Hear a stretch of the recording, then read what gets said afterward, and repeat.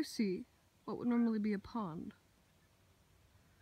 The water has yet to collect completely, though.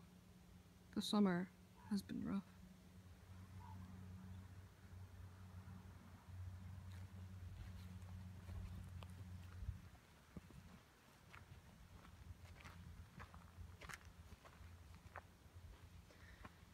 It is quite doubtful that I will find any ground squirrel holes here. As I said, it is a pond. Some water has indeed already started to collect, but not enough to fill the pond completely.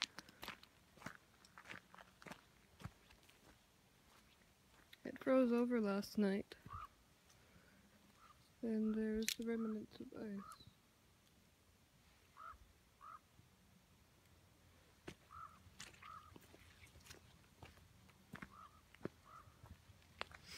I should be careful to not stand in one place too long here, as the mud might start pulling me down into the ground.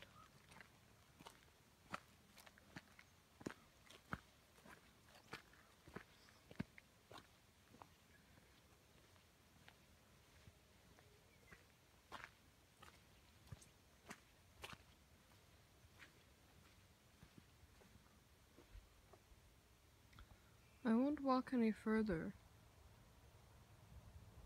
as the mud will start pulling me down, down, down, deep into the ground, and eventually suffocating me.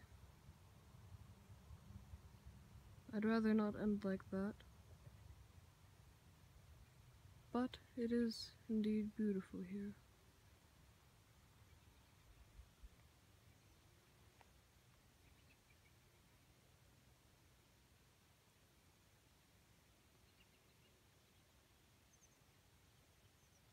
There, there aren't generally any fish in the pond.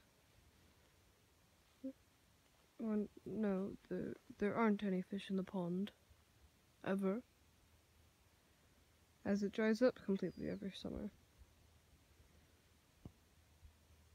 But there are aquatic bugs and algae and the birds who eat the aquatic bugs.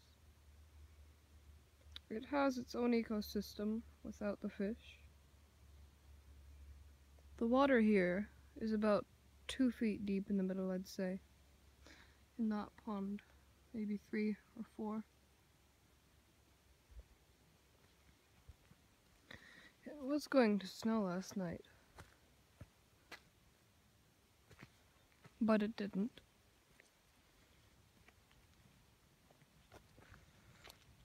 Because there was no precipitation. Had there been precipitation at the time, there would have definitely been snow. However, there was not, but it did get cold enough, so everything froze over.